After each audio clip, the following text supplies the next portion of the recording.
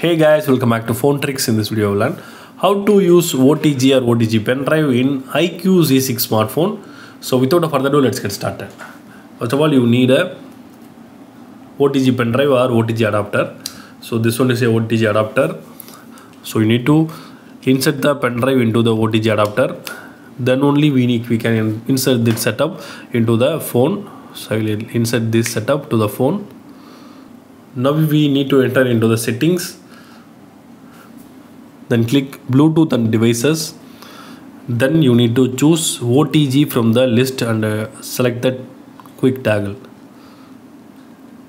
So after enabling the otg otg will be got to work. So you need to open the pen drive. Now the pen drive files is got opened.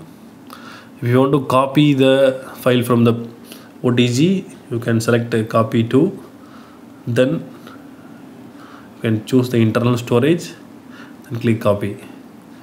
Also you can do it uh, to copy the files from OTG to your device or device to OTG also. So if you want to eject the OTG don't uh, remove the device without ejecting. So you need to click the this option then click eject.